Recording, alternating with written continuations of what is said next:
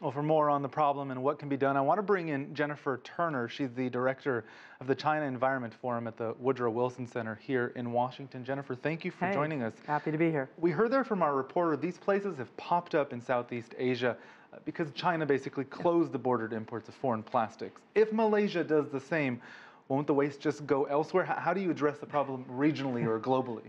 Well, I think that, I mean, the one good side of China closing the doors, it was a true wake-up call. I mean, this is a $200 billion industry, and the, and the US and Europe, we've been shipping our waste there for 40 some years, and now we have to kind of realize that, whoa, what are we going to do with this waste? And you're right, that if Malaysia closes the doors, it's just going to be a trickle down to other countries. But I think what's, what's good with what's happened now is that there's now starting to be a global conversation. And I think kind of adding to that has been a lot of environmental groups, also reporting National Geographic and others about how the oceans are being filled with more and more plastic waste. Now, not all of it is linked to the, to the exports that we're sending to Asia. I mean, even before that, that, that we started shifting our waste to going to Southeast Asia, I mean, these countries already have had difficulty in dealing with their own plastic production. I mean, plastic bags are ubiquitous in Thailand, Malaysia, and they haven't really had their own kind of strategies on how to deal with their own domestic plastic waste. And now we've added on top of that these exports. And those people in Ryan's report there, they got their government to act because they had drone footage of the of the waste. Is there a role here for people power? Oh yeah, this is this is citizen science in action where people are actually mapping out what is happening in their neighborhood. And I think that that's and a really good model of, of, that, that we could see happening if the trickle down of these wastes going to other countries where the people are going to rise up and say a solution needs to happen. Um, but it's going to take more than just bottom up protesting and, and government bans. I mean, there, there has to be kind of a broader strategy. I mean, in ASEAN, you know, they've been discussing this last year about what they want to do about ocean plastic, not just about the import issue, and they're still studying the issue. But there has to be, you know, true action happening, you know, finding solutions. I mean, there's, there's the bag bans, there's straw bans, and that's just about the consumer waste.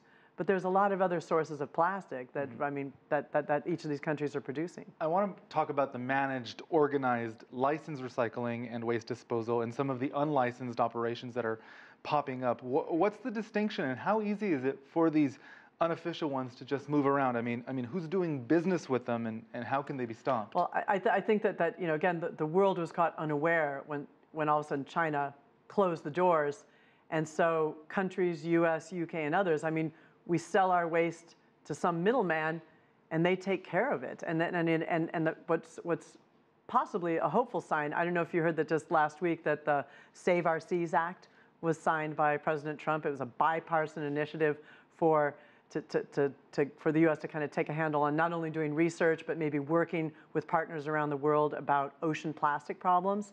That's very encouraging. There's a lot of more environmental groups that are getting their voices heard, bringing people together to deal with lots of plastic waste. I mean, one issue that's, that's separate from this kind of expert one, I don't know if you heard about, have you heard of ghost fishing gear? Mm -hmm.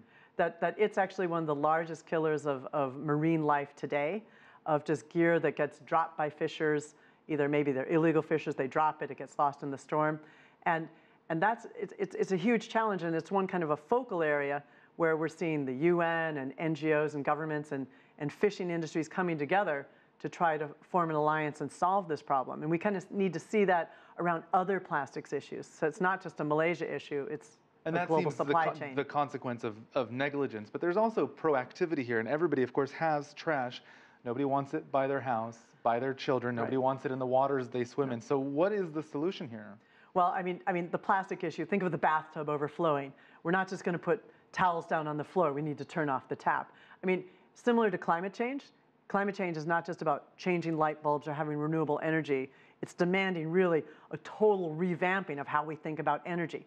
Plastic problem is the same thing, that we have to think about how do we use less? I mean, there's, it's, it's hard to get your brain around it. So it's a good start talking about straws, plastic bags, balloons, where we as an individual can start taking steps. But, but truly, there's going to be, have to be a lot more in terms of like packaging for things that we buy.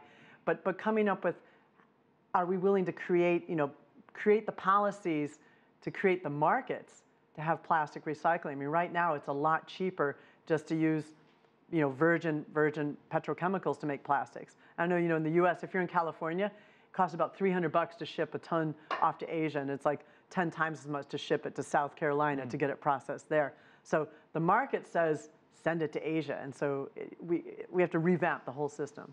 Jennifer Turner from the uh, Woodrow Wilson Center here in Washington. Thank you for your insight. Thank Thanks you for so joining much. us.